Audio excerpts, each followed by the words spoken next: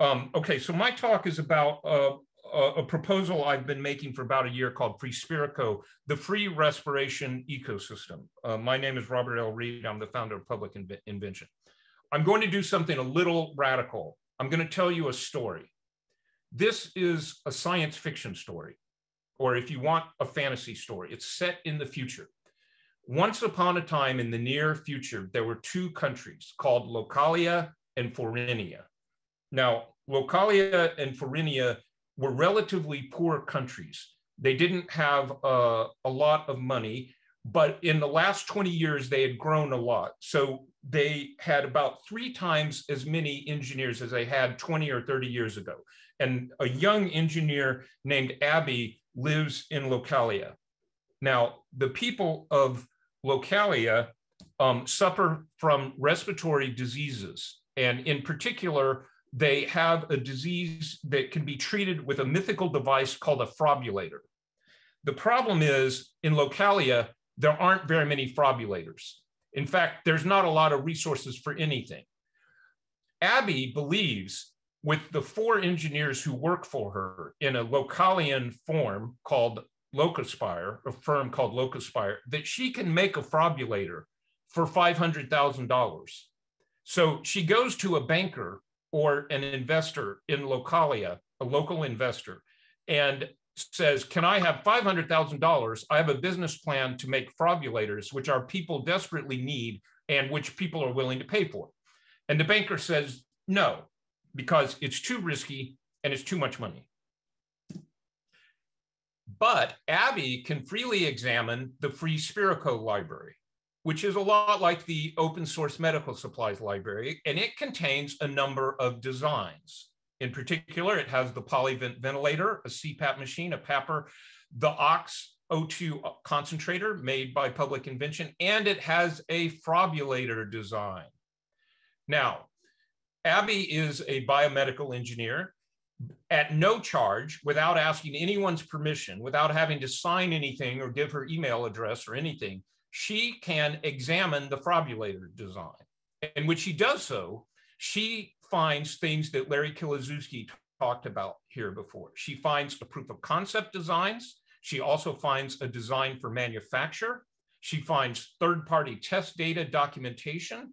And she notes that the design is a design that contains eight different modules following best open source practices. It's been designed in a very modular fashion. And so Abby thinks this is a very reasonable thing for her firm to attempt to build. So she goes back to the banker with the frobulator design in hand. And she says, Can I have $200,000? And now the investor says, Well, the risk is much lower because we see that frobbulators have been tested Perhaps they've been given approval in the United States with the FDA. Perhaps there is a Swiss firm making frobbulators based on the same design.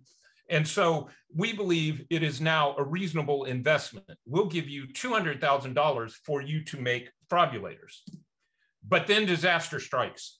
There is strife with Phorinia. The constitutional monarch of Localia declares that there will be no foreign parts used in local frobbulators. But Abby's case is not hopeless. Abby notes that the frobulator was designed in a modular way, and only one of the eight modules uses a foreign part. She has her four engineers find a way to replace the foreign part with a local part. In a relatively short period of time, they have discovered a way to do that using only local parts. Abby then goes back to the, the country regulator and says, this frobulator is approved in larger nations, but we changed module eight and retested it. Are you convinced it is safe? And the regulator might say no, or they might say yes. But because it's been retested and a majority of the risk has been shouldered by other firms, the regulator says yes. This allows local manufacture of the frobulator. And so Abby, who runs a local firm called Locuspire, starts manufacturing frobbulators, which saves the lives of local people. Now, how can we make this fairy tale real?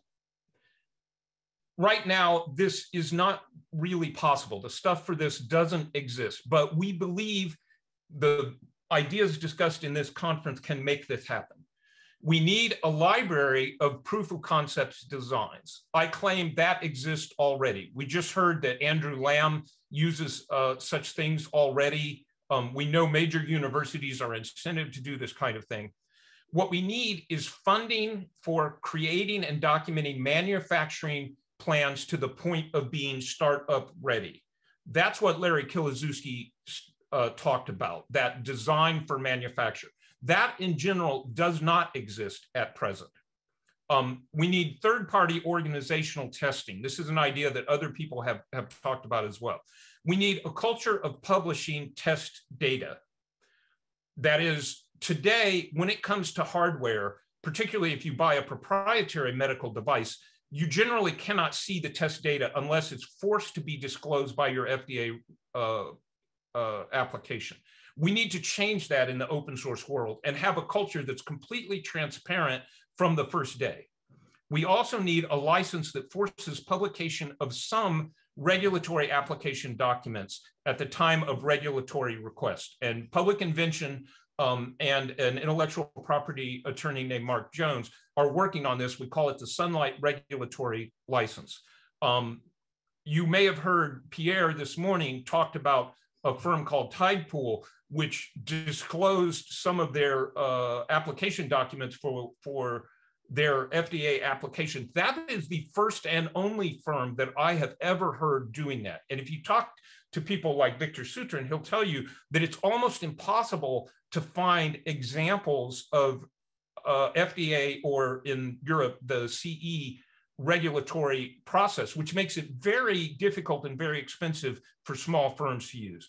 Um, finally, we need to adopt standards, standards, and more standards. And the open source community has done this well. This happens in the, the realm of physical, electrical, and data standards. I'm going to talk a little bit about that.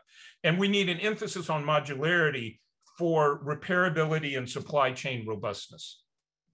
Now, as, as I've said, we're good at making proof of concept designs already. The other parts we're not very good at. And why is that? Right now, there are few incentives for taking the next step to build a startup ready design unless you're planning to actually market it.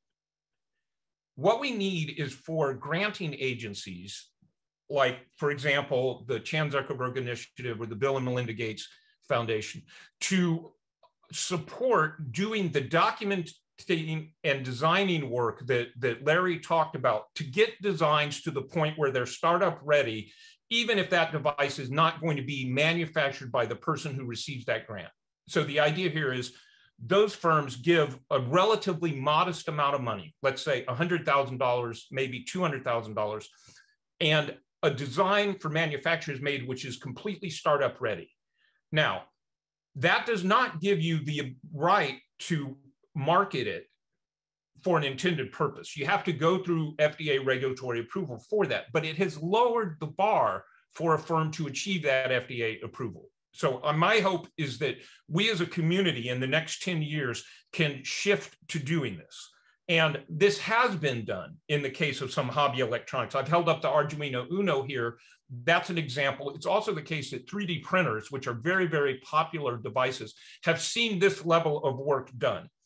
It hasn't been done much for medical devices because it, it, those are just smaller markets that fewer people are interested in um, in general we need a third-party testing organization. Now, um, Rohith Mallya and Sabia Abedi have, have articulated this idea independently. I believe Joshua Pearce articulated this idea independently. I also mentioned it um, some years ago. I'd like to re-articulate it now. We need a financially supported, professional, third-party, impartial consumer reports laboratory capable of producing accurate test reports for open source medical devices. Now, why is that? I personally believe scientists and engineers are among the most honest people in the world. but nobody likes to have somebody call their baby ugly. So you can't trust engineers to not be biased about the product which they build. The only way to give real transparency is to have, for example, public invention build this device and have someone not associated with public invention test it.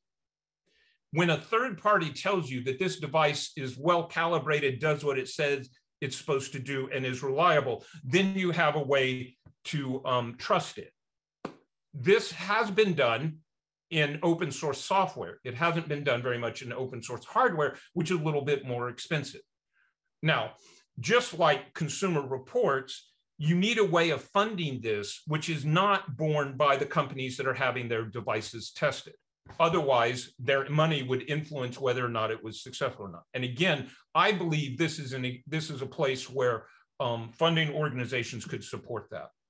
We need a culture of publishing test data.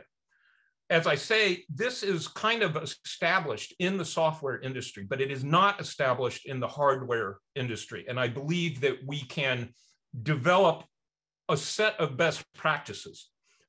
Today, you don't have a good model to go on on on where you would publish the data how you publish the data what you should test but those things can be developed in such a way that, that we can develop a, a culture where people just know how to do it. And every hardware device that falls in this realm of open medical technology, you just expect it to have to have a lot of published test data along with it before you even uh, are doing the FDA application. At the time you're doing proof of concept or startup ready design for manufacture. Okay, I'm going a little quickly here. I, I can't see anyone's face, so I can't tell if you're if this is making sense or not. Um, I also want to talk about the sunlight regulatory license. You guys can um, um, see this. This is something that's a work in progress. Uh, as um, George Contreras pointed out, you kind of have this legal theory of hooks and triggers, and the sunlight regulatory license is designed to be a little different than any license that exists. Now, um, I can tell you people really don't want to see a new license because there are too many of them already and it makes things confusing. But Mark and I believe that this is necessary. The idea here is if you take this device, the Ventmon, and you try to get FDA approval to use it, you're taking our design, you got that design for free. We are going to give it to you under a condition. That is, the license says that if you apply for FDA approval for a design based on this design, you have to release your application. Now, some of the things you send to that US FDA, and may be different in other countries, um, are proprietary business things which you would not wish to have released, like precisely which manufacturing firm you're going to use for manufacturing it. And they need to know things like that to know it like has nickel or peanut allergies and things that, that are not particularly valuable. But other parts of it would be extraordinarily valuable to another firm that is trying to make a Ventmon. Okay. Now, I know this is, can be a little weird. In America, we tend to think of business as wanting to have control and have monopolies. What the open source spirit that we're talking about here says it is you can build the device and you can take our design and you can make it. What you cannot do is monopolize it. So if firm A chooses to make a Ventmon, firm B can also make a Ventmon and firm C can also make a Ventmon. In terms of my little story, the local firm can make it, the foreign firm can also make it. Now, you might say the normal way of thinking about it in American capitalism is to say, well, if other firms can make it, my profit will be so low, I have no incentive to make it. But we've just heard from many experts talk about the value of local manufacture. If we think about a particular nation, there may be tremendous reasons why that nation would prefer a local product to one made just next door, which is made by another nation. Therefore, it doesn't really matter to the local firm if it's being made in a foreign place because they have a tremendous market advantage by being local anyway. Um, so the sunlight regulatory license gives you the right to copy the design and demands that you give back improvements and part of your regulatory application. Why is this? Because we're trying to create a open commons of FDA or other regulatory body applications, which can be used by everybody to do a better job um, making safe and effective devices by seeing what is necessary for those applications. Now, this project needs legal scholars as volunteers. Um, if anyone here uh, able to volunteer, I'd like to talk to you about joining that project. There's an open secret about how open source software works. And 40 years ago, this was not true. And, and I, I was there 40 years ago, so I can say that with, with some uh, assuredness. Open source software has learned to make open standards. That is how it is the case that so many little pieces of software written by so many different people can work together so harmoniously. Some of those standards are HTTP, HTML, JSON, APIs, OAuth, SSL, the IEEE floating point standard, C itself, the I squared C, um, hardware data interface, the SPI hardware data interface, the Arduino Uno designs, the idea of Arduino shields, which are a physical, electrical, and data standards, the Raspberry Pi, et cetera. By building standards, you allow components to work together in a modular fashion. It may be the least glamorous thing, but it's one of the things I'm most proud of personally that Public Invention has done. Um, if I died tomorrow, the production of these standards may be the most important thing that I've done. So what standards do you need for respiration? Well, we already have physical standards. This is a female 22 millimeter airway standard, and this is a male 22 millimeter airway standard. These things plug together. That standard's been around for 50 or 60 years. You sometimes need physical standards for hardware devices, but you also need data standards. The Public Invention Respiration Data Standard is an open standard, which in a GitHub repository, anybody can use it. It is produced by this device. Those of you who saw Nathaniel Beshard's um, wonderful demo yesterday, you saw the waveforms being produced over the internet. That was done with the Ventmon. That is purge data. Any source of purge data can be mapped by that software. It doesn't have to be um, the Ventmon that produces it. In fact, um, we have simulations uh, done by some people at Helpful Engineering using Python of disease conditions, which are mapped in exactly the same way using exactly the same software. In conjunction with Eric Schultz, Dr. Eric Schultz, an Australian anesthesiologist, Public Invention has created the Public Invention Respiration Control Standard. We call that PIRCS. That is a way of controlling a ventilator. Now, every ventilator, if you're a clinician, you know, has certain settings. It has a mode, it has a PIP pressure, it has a PEEP pressure, it has a respiration rate, um, it sometimes has a volume rate, and it has an FiO2. Those things are so standardized that a majority of them can be expressed in a standard, which could be used to control any ventilator. That is what we have created. That is the basis of modularity for um, separating certain things. And I'd, I'd, like to give a nod to the British MHRA rapidly manufactured ventilation system. They sort of took one step towards standardizing full test suites. Not, not completely, but they did a little bit at the beginning of the crisis. It's one of the best things that they've done. So I'd like to read for you now the Freespireco Manifesto. Um, it's just similar to the open source technology thing, but it's really more focused on what public invention is really doing. Public invention is going to build Freespireco. We're going to do that whether we get a grant or not. We're asking for $400,000. I hope we get the grant, but I'm not going to let that stop me if I don't get it. The COVID 19 pandemic has demonstrated a clear and present need for a complete, free Libre, open source, easily repairable, widely usable, safe and effective respiratory support medical device ecosystem.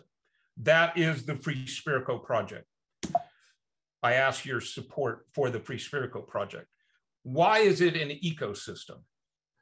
Because if you're a technologist, it's easy to understand that all of these devices, an oxygen concentrator, a ventilator, a BPAP machine, a CPAP machine, a PAPR, even a BVM monitor, are so closely related in what they do and have so many modules that can be reused between them. For example, oxygen control, the ability to produce air pressure in a, in a precisely controlled way, the ability to add nebulizers, the ability to add filters and dryers. All of these sort of things are so modular that it makes sense to think of them as an ecosystem of parts which fit together. Now, in order for them to fit together, you have to have free standards, which we have already produced. All of these devices could, in theory, be tested by the Ventmon test apparatus, which we have already made, and which any firm in the world or any person in the world is completely free to manufacture. You can take the designs right now and start manufacturing if you choose to do to do so. This could be marketed as a sophisticated spirometer. Um, there are some other parts of this I'd like to call out VentOS is an open source software system not made by public invention. It is a project of helpful engineering, which I volunteer for. Um, it drives the polyvent ventilator um, and could, in theory, could drive any uh, ventilator. If we can build this ecosystem, we can really deliver respiration devices in a powerful way all over the world with multiple firms making devices which cooperate. So Freespireco is not going to go into the business of making devices. We want to empower other businesses, hopefully local firms, to make the devices that we build. And so what we're doing now is we, in essence, have a proof of concept um, thing, uh, level of design for many of these devices. We're building startup ready devices in some way. Um, maybe the Ventmon is startup ready. The Polyvent is getting close to being startup ready. We need FDA or CE authority on top of that, and we're prepared to try to get that. Eventually, what we want is for many firms in different nations to build designs based on our devices. Why do I say based on it? Because they're allowed to modify the designs. As George Contreras pointed out, the ability to modify is basic to open source design. If, for example, in Tanzania, you really, really need extra dust filters, you can add them. If, for example, you have to make um, a different battery supply because you're in a place where electrical supply is spotty and unreliable, you could add it to the design and, it, and you're allowed to do that. Okay, now it, this is an engineering uh, diagram. This is a universal module model of a ventilator. Um, if you're not an engineer who knows something about ventilators, you, you're going to have to trust me on this. But basically, every ventilator in the world can be thought of as an air drive, something that produces air flow and pressure in a very precise way a sensing module that makes sure that that air is being produced correctly, a controller and a user interface. These things communicate with each other by standards which we have already produced, the Public Invention Respiration Control Standard, the Public Invention Respiratory Data Standard. All of these things allow a clinician to treat a non-invasively or invasively ventilated patient. Now, you might ask, how realistic is this?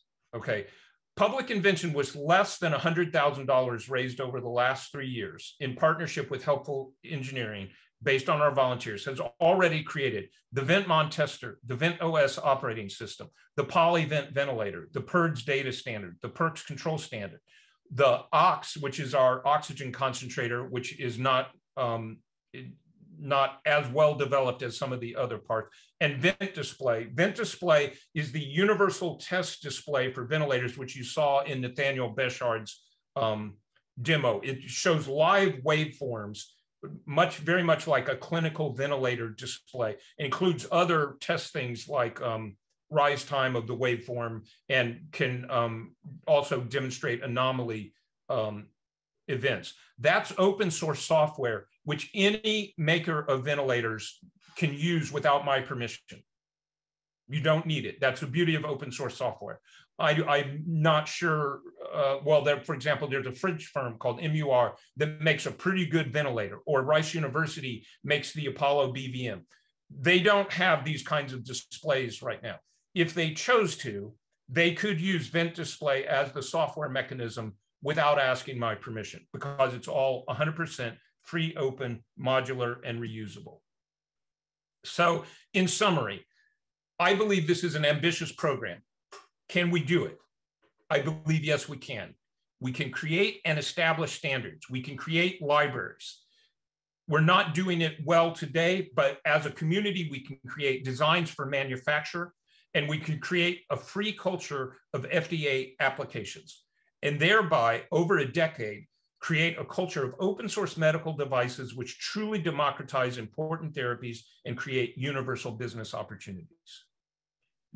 What public invention needs to make this happen is $400,000 and volunteers. And we especially need volunteers who can lead whole teams. So we really need people who have the energy, the drive, and the kind of mid career knowledge to run a team that's making one of these components. But if you look at the bigger picture, what does the whole world need to make this happen?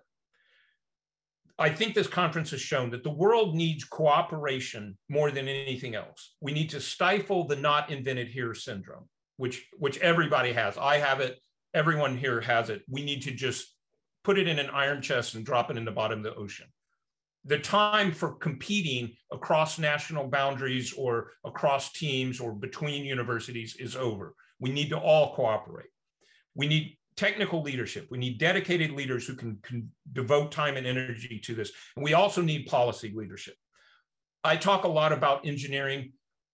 However, we need volunteers who can uh, write policy documents, who can be good graphic artists, who can be good videographers, who can be good documenters. We need all kinds of skill working in this. In my opinion, policy and technical work have to go together.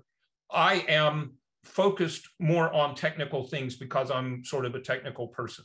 But it's very, very important that we attract and retain volunteers who have all kinds of skills, including the ability um, to write, to lead, um, and obviously medical skills as well. Okay, so that ends my talk and I have not been able to look at uh, anything. So let me try to moderate myself.